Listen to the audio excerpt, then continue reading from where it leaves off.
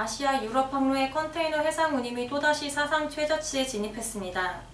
상하이 항공거래소가 3월 11일 발표한 상하이발 북유럽 항로 운임은 20피트 컨테이너당 전주 대비 20달러 감소한 211달러를 기록했습니다.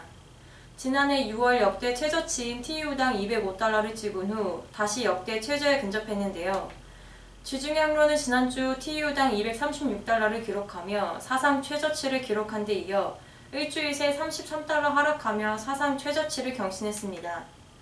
2016년 초 1,000달러대로 시작했던 유럽 항로 운임은 중국 춘절전 밀어내기 물량이 기대어 1월 중순까지 높은 수준의 운임을 유지했지만 중국발 수요 강세가 예상보다 빨리 수그러들면서 매주 하락세를 보여왔습니다.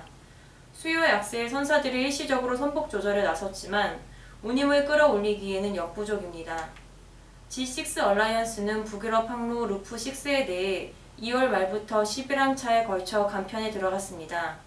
중국 춘절 연휴에 대응해 2월 중순 북유럽 노선의 4항차, 지중해 1항차에 대해 감편을 시행했으나 이번에 추가 감편에 나선 것인데요.